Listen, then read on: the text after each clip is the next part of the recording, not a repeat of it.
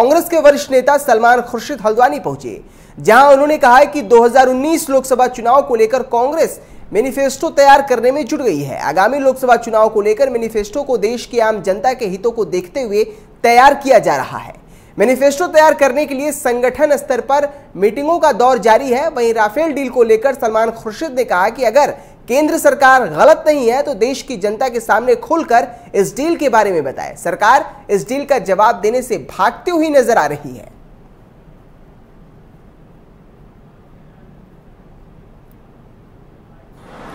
उन्हें दोहराने का कोई फ़ायदा नहीं मैं तो सिर्फ़ एक बात कहूँगा कि अगर गड़बड़ी नहीं है तो क्यों नहीं पार्लियामेंट के सामने खुलकर बता देते हैं?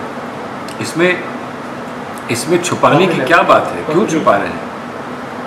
क्यों छुपा रहे। हर चीज़ स्पष्ट कर दें सामने रख दें।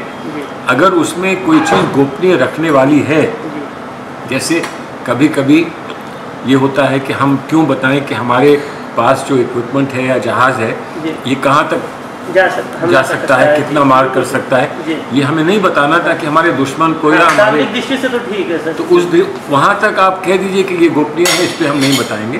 लेकिन और चीज़ें तो आप बता सकते हैं उसमें क्या परेशानी है? वो ना बताने की वजह से ये जो सारा इस वक्त जो सारा अ, मामला बिगड़ रहा है वो सिर्फ़ इसलिए बिगड़ रहा है कि सरकार कह रही है कि हम आपको कुछ खबर नहीं बताएँगे हम कैसे? अब आपने अगर अपने इसके इसकी खरीद के साथ साथ आपने सुनिश्चित कराया कि इसके बहुत सारे पार्ट्स जो हैं वो भारतवर्ष में बनेंगे और हम समझते हैं कि फला व्यक्ति बना सकता है फला व्यक्ति बना सकता है। अगर आपने ऐसा कहा है तो उसको